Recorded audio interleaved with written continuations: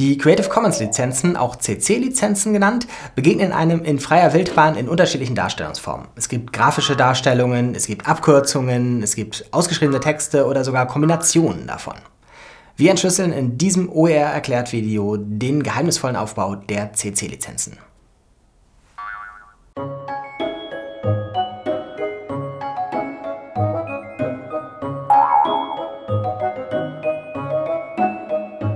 Wir haben da mal was vorbereitet, nämlich einen vergrößerten Nachbau von so einem Lizenzkürzel. Man liest es von links nach rechts. Also cc by sa 30.de. CC kann man auch CC aussprechen, das kann man machen, wie man mag. Und die vier Bausteine gucken wir uns jetzt nochmal im Detail an. Das erste ist schon ein ganz wichtiger Baustein, nämlich CC steht für Creative Commons. Es gibt draußen in der Welt hunderte und tausende verschiedene Lizenzen. Das hier sind die von Creative Commons, deswegen steht das an erster Stelle. An zweiter Stelle, welche Auflagen macht diese konkrete Lizenz? Creative Commons hat sechs verschiedene Lizenzen, die unterscheiden sich in den Auflagen. Das ist das, was an zweiter Stelle über diese Abkürzung zu erkennen ist. Drittens, die Versionsangabe. In dem Fall die 3.0, es gibt auch schon eine 4.0, aber diese Lizenzversionen updaten sich nicht automatisch oder alte werden ungültig oder ähnliches. Das heißt, auch eine 2.0 ist heute noch eine 2.0, deswegen ist diese Angabe wichtig. Und der letzte Punkt, das ist eine Angabe, die es tatsächlich als einziges nicht immer gibt. Das ist die Frage, ist es eine portierte oder eine generische Fassung? Das kommt daher, dass die Lizenzen erstmal für den internationalen Raum entwickelt wurden. Das sind die sogenannten generischen Fassungen. Dann steht da hinten nichts.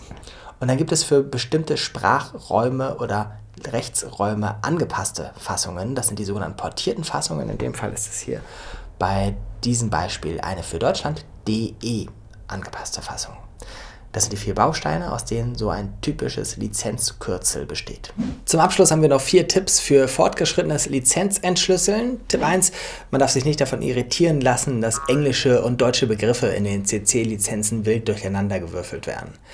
Zweitens, man darf sich auch nicht davon irritieren lassen, dass Abkürzungen und ausgeschriebene Fassungen oft miteinander kombiniert werden, es gibt zum Beispiel solche Lizenzbezeichnungen wie Creative Commons bei SA 3.0 Deutschland, nicht unüblich.